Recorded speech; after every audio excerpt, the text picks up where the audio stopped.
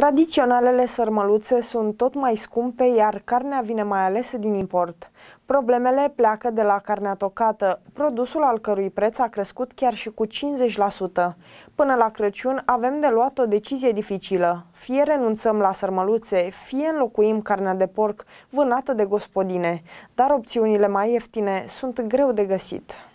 Valul de scumpiri care a năvălit peste România nu se oprește aici, astfel că tradiționalele sărmăluțe sunt în pericol. Gospodinele aleg carnea de porc pentru acest preparat, dar scumpirile le cam dau planurile peste cap. Așa e, mamă, s-a scumpit toate. Și la pensie nu mai pune nimica. Ce să facem? Trăim de azi pe mâine. Asta este. Considerați că un român își poate permite să facă niște sărbători decente, să spun așa. Ce să facă? Cu ce face dacă n-ai bani? Că toate se scumpe, mamă.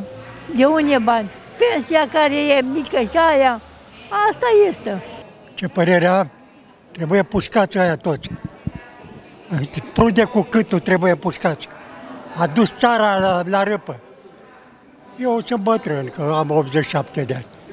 A dus țara eu, dacă aș mai fi tânăr, cu cât mi-ar mai da, bă? Pușcărie, dar așa pușca cu mâna.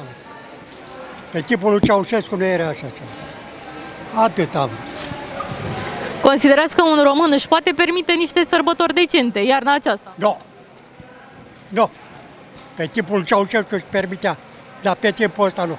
Clienții au posibilitatea să cumpere carne proaspătă care să fie tocată în fața lor. Este varianta cea mai costisitoare. Toate tipurile de carne s-au scumpit, arată cifrele Institutului de Statistică, dar cele mai mari creșteri sunt la carnea de porc. Din acest motiv, în decembrie, doar unul din patru clienți va mai găsi în comerț carne românească de porc. Am pensie de 1 milioane și ce părere să mai am?